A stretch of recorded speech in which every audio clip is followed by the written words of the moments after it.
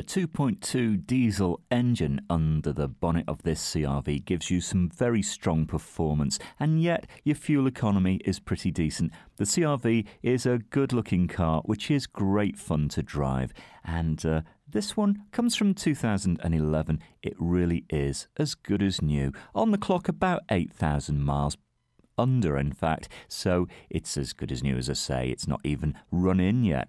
Now, you've got lovely black paintwork, very smart looking car, alloys there as well, and inside this is well specified. Your seats are half leather, very comfortable behind the wheel there. Of course, it's a high up driving position, but I always think that these cars are quite easy to get in and out of. You've got remote central locking, climate control, you've got a CD player as well to keep you entertained.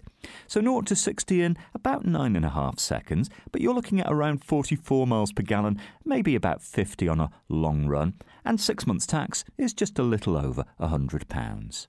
Now, if you've got an old car that you'd like to part exchange, or if you need finance, no problem. Come down, have a test drive, discover this great car for yourself.